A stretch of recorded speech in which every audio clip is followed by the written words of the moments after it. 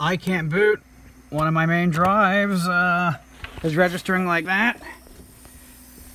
And it sounds like that.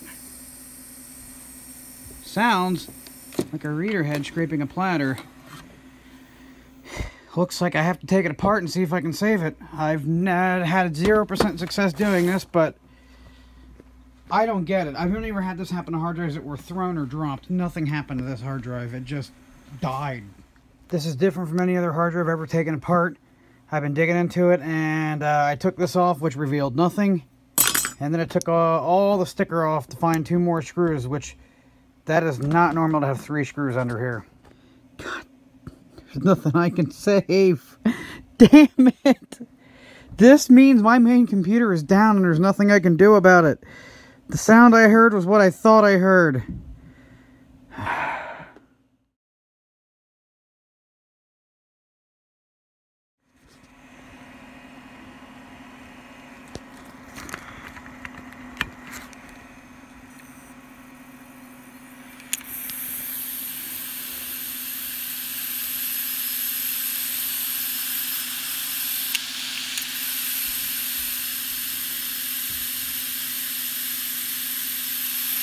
That'll do her.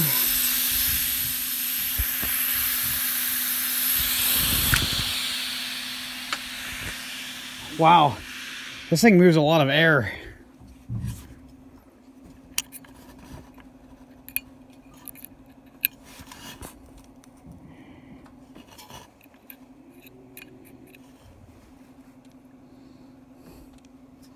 Oh, this upsets me. Let's see if any more heads failed, though.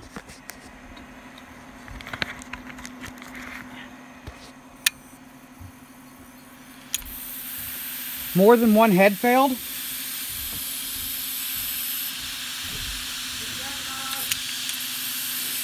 Alright. Now,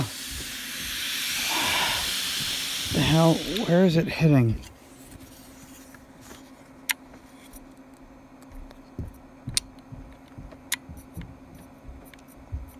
It failed in one more than one spot. What the hell? Chunky ass magnet stole a bit right out of my screwdriver. The most effective way I have found to get these magnets off of here, you put this in a vise or in a really good pair of pliers and you get another vise or, a, or a pair of pliers on the other side and you, you just bend the metal apart into like a U shape and then you can actually pick the magnet off when it's no longer flat. Now, destroyed.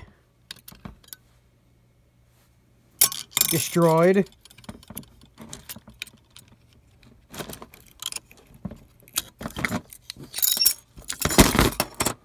Oh my god, they all died! So what this sounds like.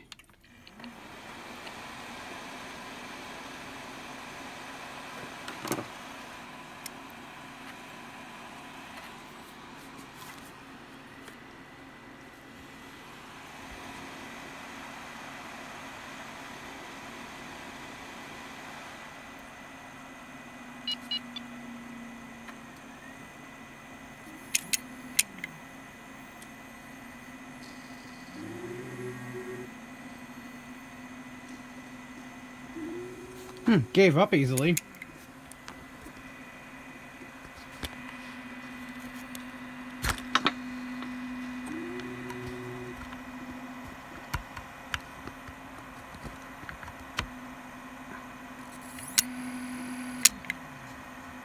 Hmm.